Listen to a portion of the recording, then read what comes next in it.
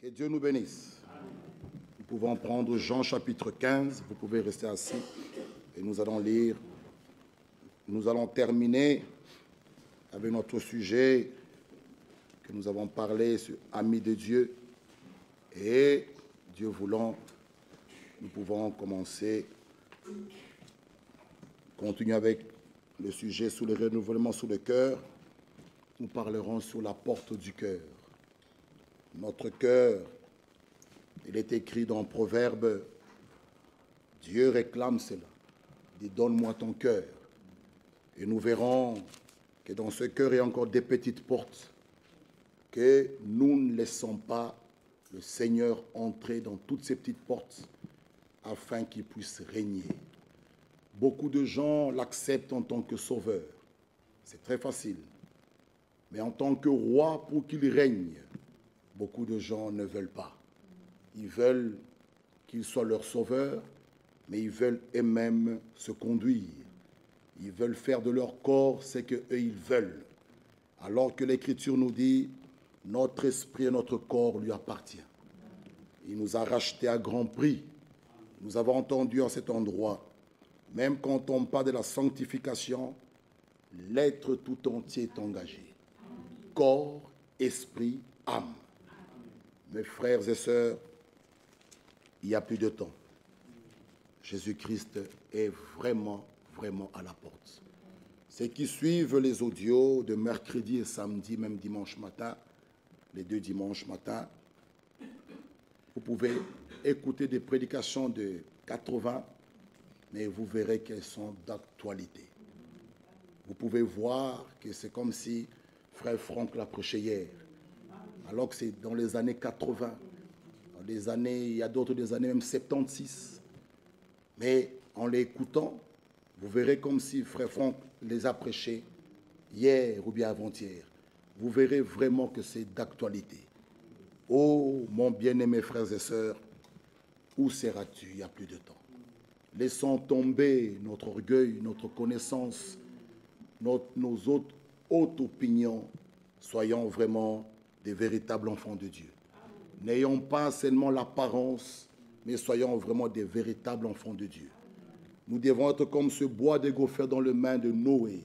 Il pouvait les façonner, faire de ce bois ce que lui pouvait faire. Dieu aussi, même chose. Nous devons être entre ses mains, qu'il fasse de nous ce qu'il veut faire. Ça doit être la prière de nous tous. Seigneur, fais de moi ce que tu veux. Jean 15 nous dit, je suis le vrai cep et mon père est le vigneron. Tout sarment qui est en moi et qui ne porte pas de fruits, il les retranche. Et tout sarment qui porte du fruit, il les monte afin qu'il porte encore plus de fruits. Amen. Bien-aimés frères et sœurs, le sarment est branché au cep. Alléluia. Même la sève qui doit circuler ne vient pas de lui, même la vie qu'il a. Frère, dès qu'on retranche le sarment de ce cep, vous verrez un jour, deux jours, il va sécher et on doit le jeter. Notre vie, la justice que nous avons, même cette sainteté, vient de Dieu. C'est pourquoi tout celui qui veut marcher correctement dans les voies du Seigneur doit être ancré dans la parole de Dieu. Le psaume chapitre 1 nous dit ceci. Lisez avec moi cette écriture. Je vais terminer ce sujet pour que dimanche nous commençons notre sujet. Le psaume 1 nous dit Heureux l'homme qui ne marche pas selon le conseil de méchants et qui ne s'arrête pas sur la voie des pécheurs et qui ne s'assit pas en compagnie de moqueurs pourquoi Bien-aimés frères, quand vous êtes parmi les mauvaises influences, cela influencera aussi votre vie. Alléluia. Jude, nous pouvons le lire, nous parle d'un salut commun. Deux personnes peuvent-ils marcher ensemble sans être d'accord? Si ton ami est un fumeur de chanvre, Quel est le lien qui vous lie? Quel est ce lien-là? Une femme mariée, son amie, c'est une prostituée. Il n'y a pas de lien. Il n'y a rien de commun. Qu'est-ce qu'elle va te dire? Voilà pourquoi l'Écriture nous exhorte de ne pas s'arrêter sous la voie des pécheurs et qui ne s'assit pas en compagnie des moqueurs. Des gens qui se moquent de la parole, qui se moquent de Dieu. Ce sont ceux-là tes amis. Qu'est-ce que vous allez partager avec eux? Tout celui qui se moque de Dieu n'est pas aussi le bienvenu chez moi. Quelqu'un que tu invites à la maison, il parle en mal de l'Église de Dieu. Il parle en mal même des serviteurs de Dieu. Mais, frère bien-aimé, qu'est-ce qui va me lier avec cette personne? Les deux disciples, sous le chemin de Maïs, ils sont traités des choses qui concernaient la parole de Dieu. Et la Bible dit, le Seigneur alla à leur rencontre. Vous voyez Donc, quand tu, as un ami qui se moque de Dieu, qui parle en mal de la parole, en quoi est-ce qu'il sera mon ami? Parce que nous parlons des amis. Être ami de Dieu. Nous sommes ses amis si nous faisons ce qu'il nous commande. Alléluia. Ah. Vous voyez, donc il y, a quelque, un contrat d'amitié, il y a quelque chose qui nous lie. Être appelé ami de Dieu, ce n'est pas un slogan, c'est faire ce qu'il nous commande. Et l'Écriture nous dit, il est comme un arbre planté près d'un courant d'eau qui donne son fruit en sa saison. Et dans le voyage, ne se flétrit point. Tout ce qu'il fait lui réussit. Ah. Un enfant de Dieu qui marche réellement avec le Seigneur, qui, qui, qui, qui, qui, qui demeure, Jean 15, on va le lire, si vous demeurez en moi et que ma parole demeure en vous, tout ce que vous demanderez, vous l'aurez. Un véritable enfant de Dieu, frère, marche avec le Seigneur, tout ce qu'il fait lui réussit. Alléluia. Mais cet arbre, comme vous pouvez le lire, est planté près d'un courant d'eau. L'arbre, le soleil, l'eau, l'arbre n'est pas absent de son poste. Mais regardez la manière que nous nous vivons. Nous allons voir un peu ce qu'Abraham a fait. Nous venons à l'église de la manière que nous nous voulons. Comment allons-nous grandir? Il y a la naissance, il y a la croissance et il y a la maturité. Mais pour arriver à la maturité, ça dépend de la manière dont vous mangez.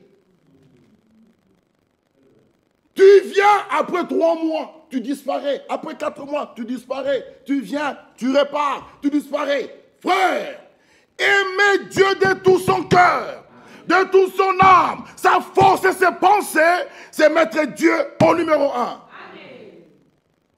Aujourd'hui, nous pouvons voir ceux qui aiment Dieu. Aimer Dieu, avoir la richesse du monde, avoir des belles voitures, une grosse voiture, des belles maisons, ce n'est pas ça l'évidence que Dieu est avec toi. Parce qu'il y a des personnes là, à l'extérieur qui ont plus de biens que nous, mais ils n'ont pas Dieu. Ce n'est pas ça la garantie. Si c'est ça la garantie, où mettez-vous Pierre qui allait au temple? Il a dit, je n'ai ni argent ni or, mais ce que j'ai, mon bien-aimé frère, ma bien-aimée soeur, posséder Christ dépasse toute chose. Alléluia. Avec Christ, du néant, je peux avoir quelque chose. Alléluia. Souvenez-vous de Josué. Il pouvait regarder le soleil du soleil, arrête-toi. Frère, celui qui a Christ, il a tout. Il a tout. L'or, l'argent appartient à notre Dieu. Les richesses appartiennent à notre Dieu. Tout appartient à notre Dieu. Posséder Christ, j'ai tout. Alléluia. Mon frère et ma soeur, le travail va passer. Cette terre d'à présent est gardée, réservée pour le feu. Aujourd'hui, les gens font même des caprices. Viens à l'église, oh, je suis fatigué. Partez, je vais suivre en ligne. Ou je viendrai dimanche. Écoutez, c'est parce que demain, tu te réveilles en bonne santé. Tu peux encore aller travailler. Mais si tu ne sais plus aller travailler, là, tu verras l'importance de l'église. Là, tu vas envoyer une petite requête, prier pour moi. Là, je pense qu'on te verra ici tout le jour. C'est pourquoi la vie que nous avons, même le souffle des vies, cette santé qu'on a, frère, je servirai l'éternel. Ça, ça ne peut pas nous empêcher à le servir. Mais bien aimé frère, celui qui a Dieu avec lui. Oh, mon frère et ma soeur, Comment Comment nous venons à l'église comme si nous marchions Écoutez, même si vous ne venez pas, ce n'est pas Dieu qui va pleurer. Non, non, non, non, non, non, non, non. Non, lui, ne tombe jamais malade. Lui, il, ne vieillira pas. Lui, lui, non, non c'est le ciel est à lui. Même cette terre est à lui. Tout est à lui. Les choses visibles et invisibles sont à lui. Donc, lui, il a tout. C'est nous qui avons besoin d'aller là. Alors, où est-ce que tu le mets? Nous le verrons dimanche. Où mets-tu? Où est-ce que tu le mets? Et notre Dieu, Jésus-Christ, lorsqu'il est allé chez Simon le pharisien, la place qu'on lui a donnée, il a pris ça. Voilà notre Dieu, comment est-ce qu'il est. Tu lui donnes la cinquième place, il acceptera. Tu lui donnes la première, il prendra. La troisième, il prendra. Mais ta manière de vivre montrera quelle place tu lui as donnée. Mes frères, être appelé chrétien, ce n'est pas un nom bien slogan. Non, les premiers chrétiens Antioche, ils n'ont pas parlé. On a vu leur vie on les a pointés. Voici les chrétiens. Frère, notre vie, tout ce que nous faisons parle. Tu sais, vous savez mon frère, ma soeur, même au travail, ils savent qu'il y a des jours qu'ils ne peuvent même pas, même si même s'ils font une grande fête à la mission locale, il y a des jours où ils savent qu'ils ne me verront pas. Jamais. Ils ne me verront pas. Je peux être là, l'heure du culte, j'ai dit au revoir et je sors. Restez faire vos histoires. Je vais m'absenter d'un culte, rester avec mes collègues du travail, en train de danser, de boire, de fumer, et je suis là jusqu'à 22 heures, m'absenter de, mon, de, de venir adorer Dieu. Ah non, frère. Ça, ça montre quel degré tu l'as placé. Si c'est un lundi, il n'y a pas de problème. Mais un mardi, vendredi, ah non. C'est là qu'on voit les véritables adorateurs. C'est là qu'on voit les véritables élus. Pour eux, c'est la parole ou rien. Là, les élus, mon frère et ma soeur, on voit pour eux. Je vous ai lu. Vous savez, Jusque-là, je n'ai vu qu'une sœur qui est venue prendre ce livre au bureau. Écoutez, écoutez ceci. Écoutez ceci. Vous savez, c'est quelque chose d'important. Jésus-Christ revient bientôt. Être élu, ce n'est pas juste un slogan. Regardez ce qu'ils disent ici. Les élus croient Dieu en tout ce qu'il dit. Pour eux, ce que Dieu a dit, pour eux, c'est oui et amen. Ça, c'est pour un élu. Il nous dit ceci. Il faut ce que Dieu a commandé. Ah, ça c'est un élu. Pas un appelé. Nous parlons des élus. Il y a beaucoup d'appelés, mais peu d'élus. Mais les élus, nous les reconnaîtrons, c'est dans la pratique à la parole de Dieu. C'est là qu'on voit un élu. Les appelés se contentent, oui, de la permission, de ce que... Les élus, pour eux, en tout temps, ils recherchent la volonté parfaite. Non pas ce que je veux, mais ce que tu veux. Ça, c'est les élus. Ils croient Dieu. Ils font ce qu'il commande. Et ils obéissent à ses instructions. Ah. Mes frères, pourquoi vous ne venez pas mercredi à la prière? Dieu nous parle par la prédication de la parole. Par la prière, nous, nous nous adressons à Dieu. Vous voyez? Et l'homme naturel n'aime pas la prière. Et je vous dis, nous étions ici mercredi mercredi, il y avait une des prières, la salle ici vibrait. Mais pourquoi quand on est comme ça, nombreux, ces prières ne montent pas? Qu'est-ce qu'il y a? Qu'est-ce qu'il y a?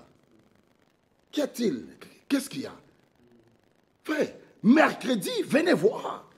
La salle bougeait. Frère Kouira a dû couper. On pouvait aller jusqu'à même 20 heures. Il y avait une autre atmosphère. Vous voyez, prier, c'est parler à Dieu. Tu parles à ton Père. Nous parlons d'être amis de Dieu. Abraham a dialogué avec lui. Cacherai-je Abraham? Il nous dit les élus, ils obéissent à ses instructions. Chez eux, la parole, la foi et les œuvres sont en parfait accord.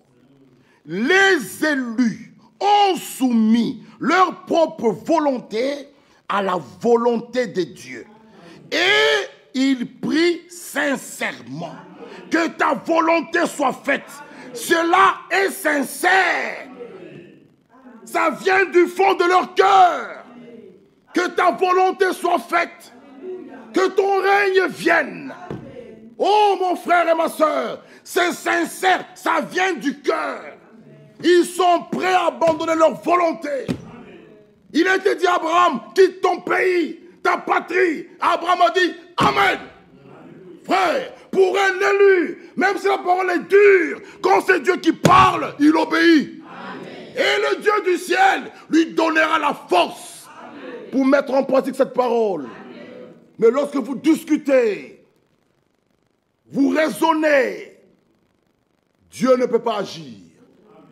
Là où il y a le raisonnement, Dieu n'y est pas. Alléluia. Dieu est là, là où il y a un cœur sincère. Un cœur qui est prêt à obéir. Abraham ne savait pas où est-ce qu'il allait. On va terminer avec ça. C'est qu'il a été appelé ami de Dieu. Ah, ah, frère, si tu es l'ami du roi, ou bien d'un ministre ici, si c'est à Wavre ou bien quoi, je pense que même ta façon de venir à l'église, tu verras les gens comme s'ils n'existaient pas. Parce que tu es ami avec le roi, ou bien un ministre, je ne sais pas, Didier Render, c'est ton ami, tu étudies avec lui. Je pense qu'on voit beaucoup de gens qui étudient avec le président euh, euh, euh, Fachi, on, on, le voit, on le voit, j'étudie avec lui. Ils, sont. Mais ici, c'est être ami de Dieu.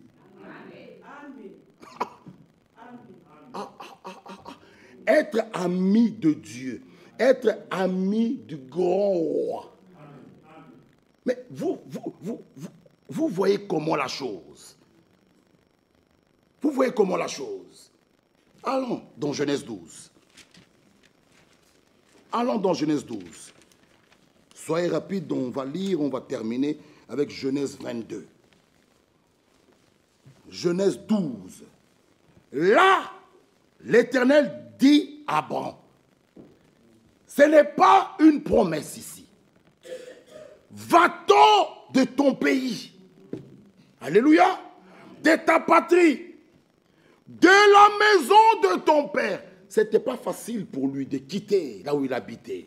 Il avait peut-être des connaissances. Il avait peut-être aussi des amis. Mais un bon matin, il doit s'élever, prendre sa femme et partir. Ses amis, les gens du quartier, ses voisins, pouvaient poser la question à Abraham, où vas-tu? Il pouvait leur dire, Dieu m'a dit. Tu vas où? Je ne sais pas, mais il m'a dit. Frère, la foi pour les uns est une folie, mais pour nous, la foi est une révélation. Alléluia. La foi, la foi apporte la bénédiction. L'incrédulité apporte la malédiction et détruit. Celui qui a la foi, ça apporte la bénédiction. J'ai toujours dit, quand un pain coûte 2 euros et que j'ai 2 euros dans ma poche, automatiquement, je le peins. Vrai ou faux? J'ai le pain. Ce qui me reste à faire, c'est d'aller au coin, acheter ce pain. Mais dans ma poche, j'ai le prix du pain. Donc, j'ai le pain. J'ai le pain. La foi, quand on l'a, j'ai tout. Même la guérison, je l'ai. Il y a un problème, j'ai la solution. Par la foi. Par la foi, je suis un vainqueur. Alléluia. Par la foi, je marche vraiment j'ai pas peur. Parce que la foi est une ferme assurance. Des choses qu'on espère. Une démonstration de celles qu'on ne voit pas. Quand on a la foi, même toi-même, tu as le droit de dire au démon, toi démon de tel, au nom de Jésus, sors de moi. Et la foi, la foi ne reste pas muette, doit respirer. La foi doit bouger. Tu es malade. On prie pour toi. Lève-toi, marche, mange. Je suis guéri. La foi. Celui qui a la foi, le diable fuit. Satan, pour qu'il te terrasse, il va te déranger, il vient mettre en toi la peur. La peur. Alors là, il joue avec toi, là, il est content. Mais quand il trouve la foi, Alléluia, la foi, bien assis dans la parole, dans les promesses de Dieu, il fuira. Ne laissez pas la place au diable. Jésus l'a vaincu. Quitte ton patrie, ton pays. Va-t'en dans un pays que je te montrerai. Voilà la foi. Il partait dans un pays qu'il ne connaissait pas. Alléluia. Et la Bible dit au verset 4, Abraham partit, comme l'Éternel le lui avait dit il a obéi. Ah, il a mis la parole de Dieu en pratique. Abraham, il est parti. Au chapitre 13, comme on l'a lu avec vous, il y a eu trouble et il s'est séparé de l'autre. Quand l'autre l'a pris, Abraham est allé combattre pour lui au chapitre 14. Et il a gagné, il a, il a ramené l'autre avec ses richesses il se rencontre avec Melchisedec. Bien-aimés frères, encore un peu de temps, nous aussi, nous allons nous rencontrer avec lui dans les airs. Nous allons nous rencontrer avec lui dans les airs. Il va nous ramener, il va nous amener là au ciel. Soyez patients. Encore un peu de temps. Celui qui doit venir viendra. Alléluia. Il va nous, on va se retrouver dans les il va nous ramener. Et au, au chapitre 15, Abraham dit, je n'ai pas d'héritier, c'est Eliezer. On lui dit, non, ça ne sera pas lui. Tu auras un fils, Abraham.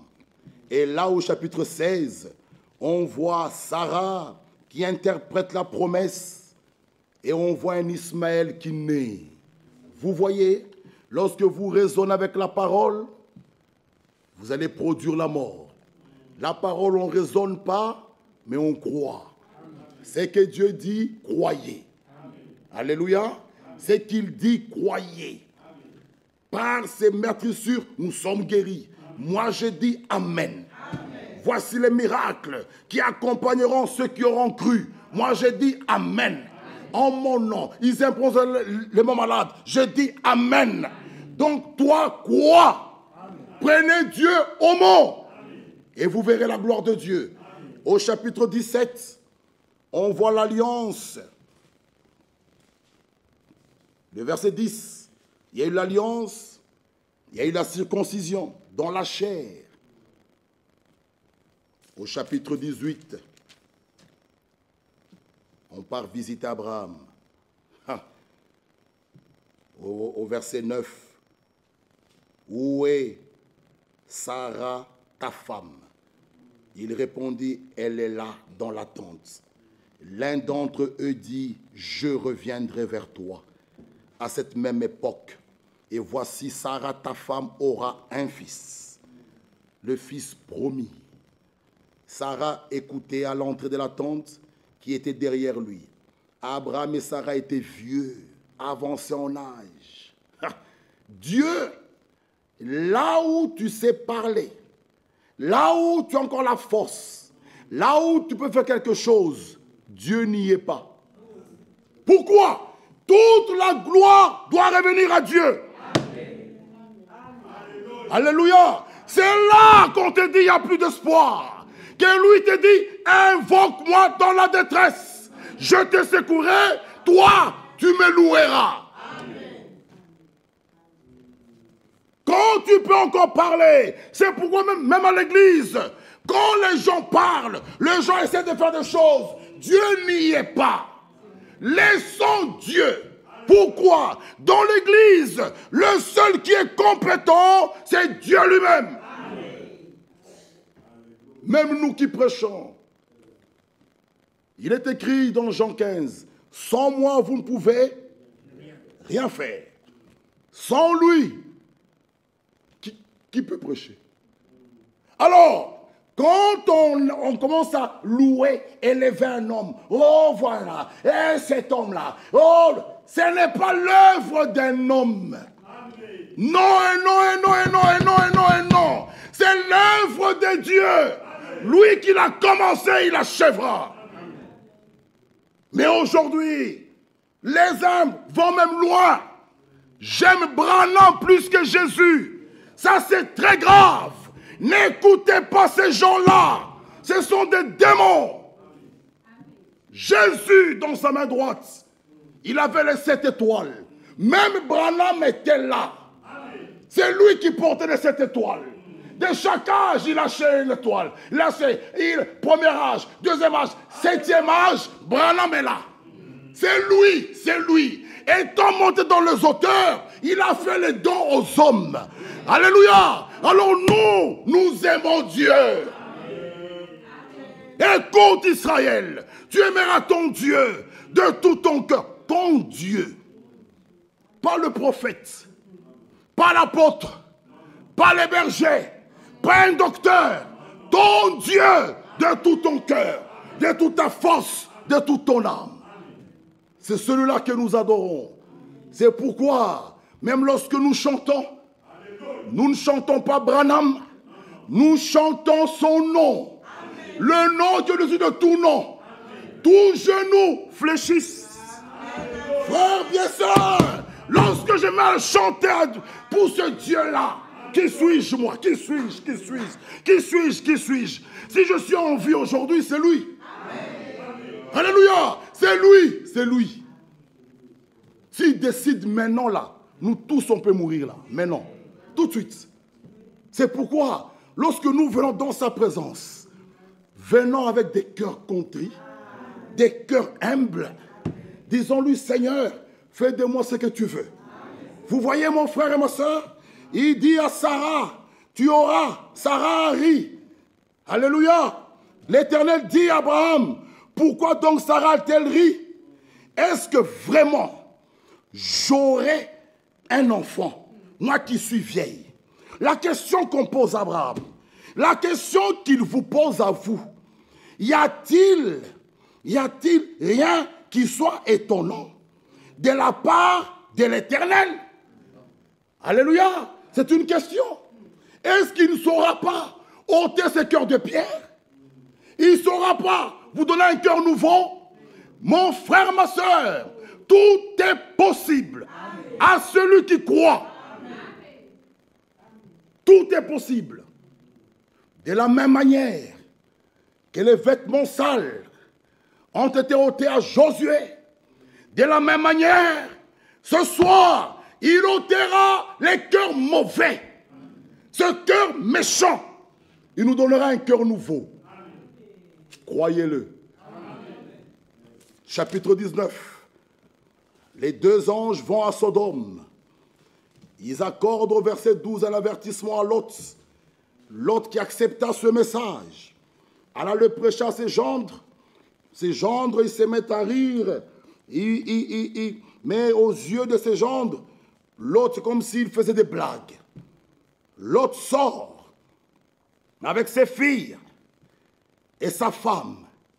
Mais sa femme avait encore Sodome dans son cœur. Frère, beaucoup sont sortis des dénominations, mais la dénomination et le monde sont encore en eux. Ils viennent mourir ici. C'est dommage. Si nous avons quitté la dénomination, ce n'est pas pour mourir ici. Non, ce n'est pas pour être vierge folle ici. Non, si nous avons quitté la dénomination, c'est pour le voir. Ça, c'est l'erreur de la femme de l'autre. Elle sort de Sodome, mais Sodome est en eux. C'est pourquoi l'homme de Dieu, frère qui nous écrit toujours ici, dit, ce n'est pas qu'on va nous faire un autre monde à nous. On nous construit un monde où il n'y a pas de bars, où il n'y a pas de bois de nuit, où il n'y a pas de prostituées, où il n'y a pas, a a pas de bières, de, cigarettes. Non. Nous sommes là dans ce monde. Mais c'est le monde qui doit sortir de nous. Alléluia. Nous devenons de nouvelles créatures. Toutes choses anciennes sont passées. Tout est devenu nouveau. Même si je vois une bouteille de bière ma gorge ne bouge plus. Frère, quelqu'un qui est mort à la boisson, même si on met des casiers, il ne cherche pas des écritures. Interdit ou pas interdit, il est délivré. Il n'y a pas un élu ivrogne. Il n'y a pas. Il n'y a pas. Il n'y a pas. Un élu avec des yeux rouges. Un ivrogne. Il n'y a pas. Il n'y a pas. Il n'y a pas. Il n'y a pas d'élu ivrogne.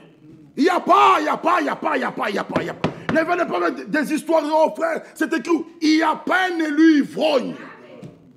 Il n'y a pas un élu qui tape sa femme. Il n'y a pas, il n'y a pas, il n'y a pas, il n'y a pas. Les deux sont une seule chair. Comment je vais maltraiter mon corps Il n'y a pas, il n'y a pas, il n'y a pas, il n'y a pas, il n'y a pas, il n'y a pas. Un élu croit Dieu. Alléluia. Et il aime sa femme comme Christ Ça, c'est dans le cœur de l'élu.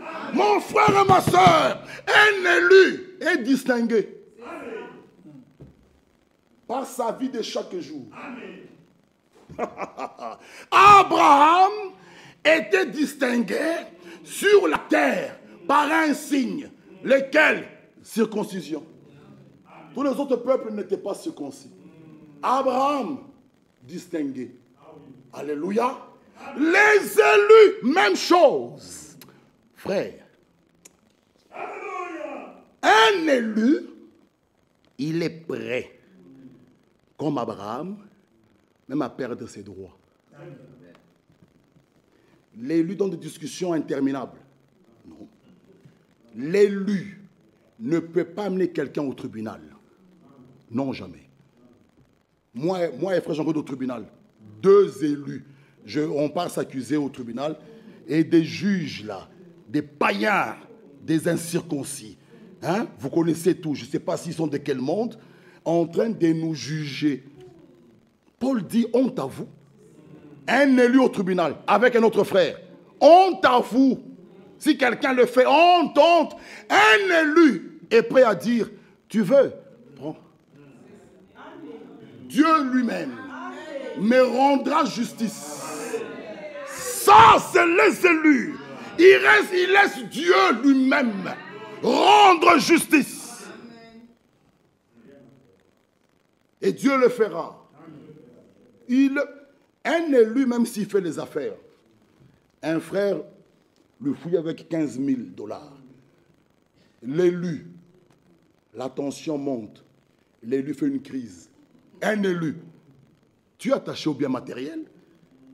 On commence à, à, faire les, massages cardiaques, mon frère. L'élu, l'élu, pour 20, 20 000 euros, un élu. Ça, ce sont les choses du monde, ça va passer. Un élu.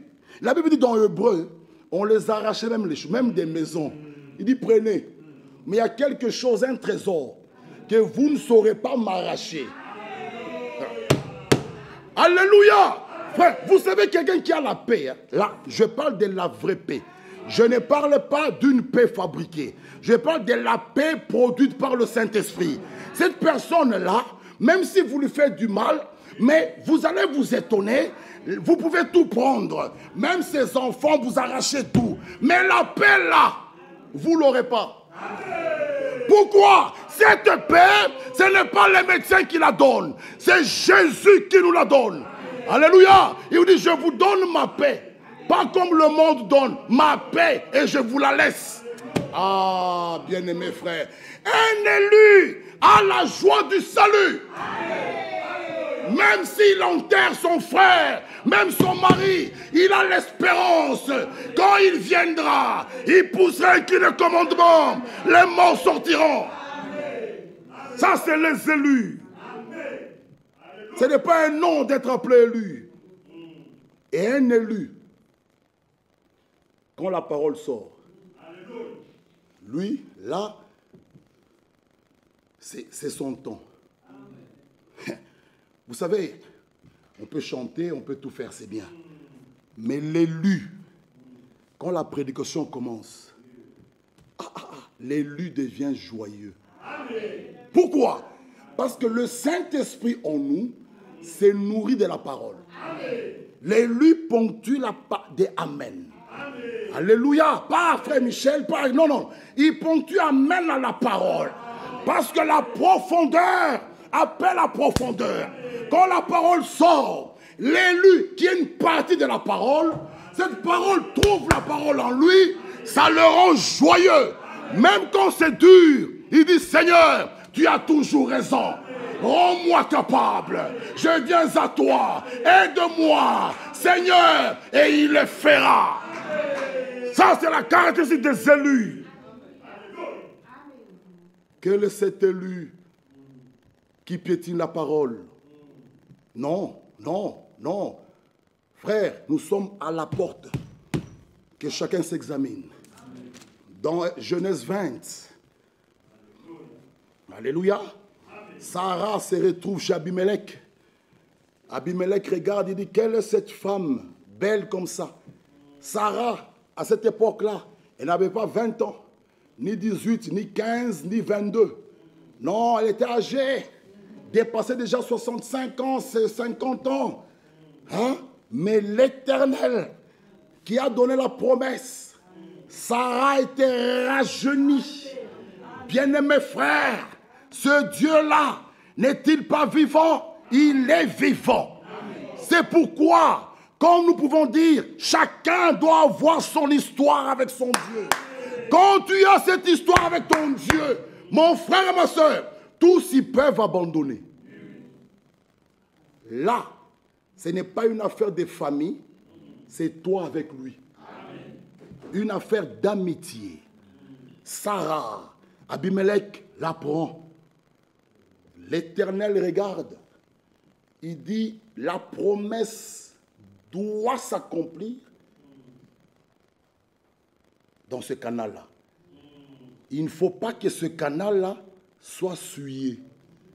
Et l'Éternel frappe Abimelech de sommeil avec une jolie femme. Et sincère qu'il était, on est allé le visiter. L'Éternel est allé le visiter. Il dit, tu es un homme mort. Il dit, oui, tu as vu, j'avais un cœur sincère. Il dit, oui, c'est pourquoi je n'ai pas voulu te laisser pécher.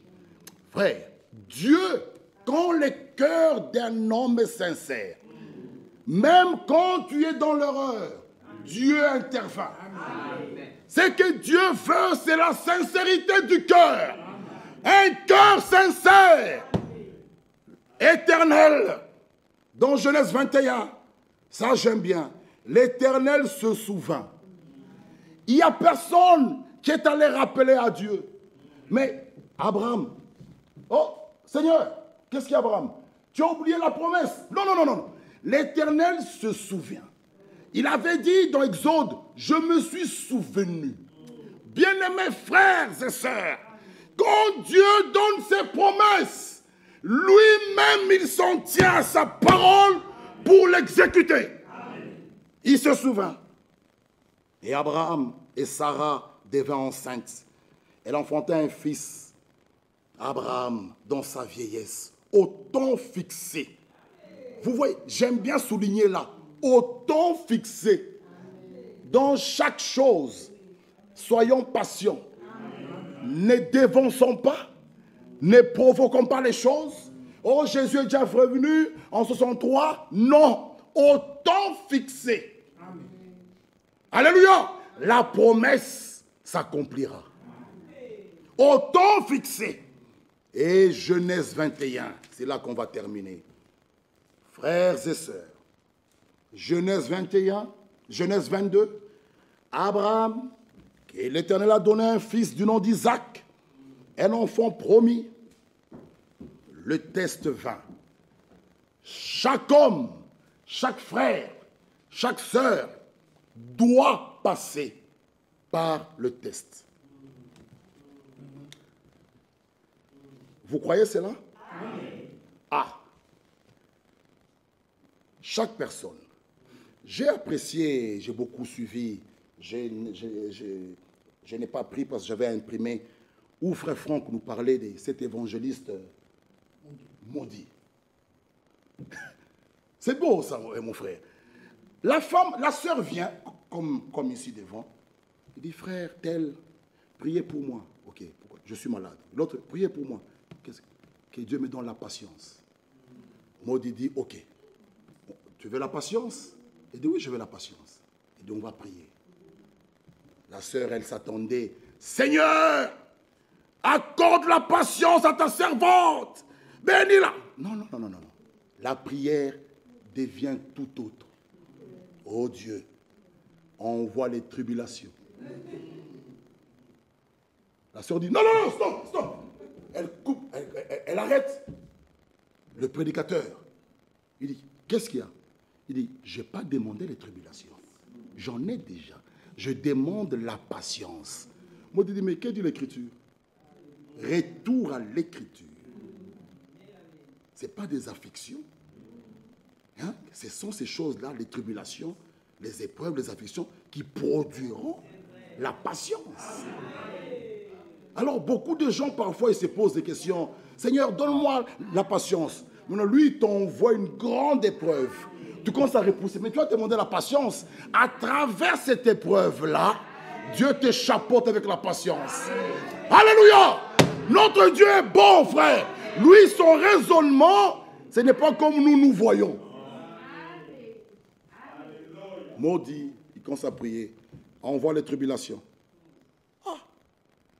Je pense que aucun frère n'est frère Nico, donc tu viens ici, je prie pour toi. Envoie à ton fils les tribulations, les épreuves, les tests, et toi tu dis Amen, Amen.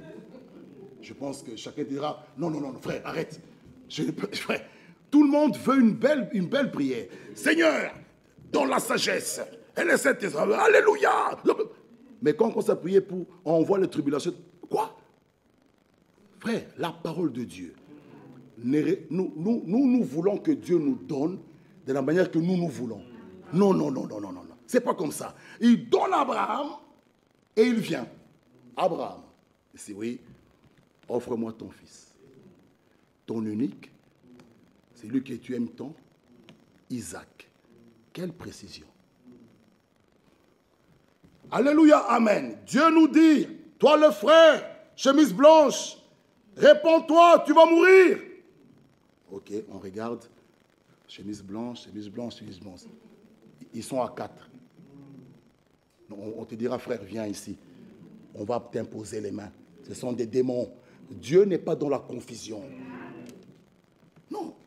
Offre-moi ton fils, ton unique. Celui que tu aimes tant, Isaac. Ah, ah, ah, ah, ah. quelle précision. Vous voyez Dieu, il, y avait Ismaël. S'il avait offre-moi ton fils, ok, lequel?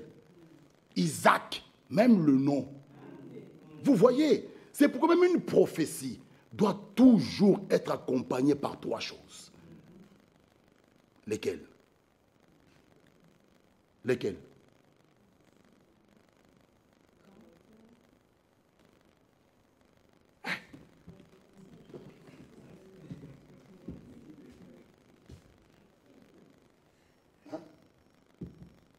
Une véritable prophétie. Selon 1 Corinthiens 14, trois choses. Consolation. Ça doit consoler. Ça doit exhorter. Ça doit édifier. Toi, ta belle-mère là qui est venue de l'Afrique, c'était la sorcière. Après, on sort. Vous voyez, l'homme qui dit à sa femme, ta maman maintenant là, elle ferme ses bagages, elle retourne en Afrique. Pourquoi Une prophétie est sortie là? On nous dit que c'était la sorcière. C'est pourquoi mon, travail n'avance pas. Ta femme dira quoi? Maman, partir. Bon, si elle part, moi aussi je pars. Ok, part. Donc une prophétie qui produit un divorce. Ah, ah, ah, ah. Prophétie. Où est l'édification? Où est la consolation? C'est exhorte qui? Mais si cette belle-mère a des mauvaises, a des, a, est possédée des démons, mais nous avons l'écriture. Ce n'est pas la, solution n'est pas de renvoyer l'enfant en Afrique ou, ou, ou, bien la femme en Afrique, amener la personne à l'église. Alléluia. Luc dit c'est clair, rien ne peut vous nuire. Marc c'est là. Frère, ce n'est pas de chasser. Donc, toi, tu, tu chasses. La, non, non, c'est ramener la personne possédée à l'église. La mission de l'église. Jésus dit, l'Esprit du Seigneur est sur moi. Alléluia. Pour rendre libre les opprimés.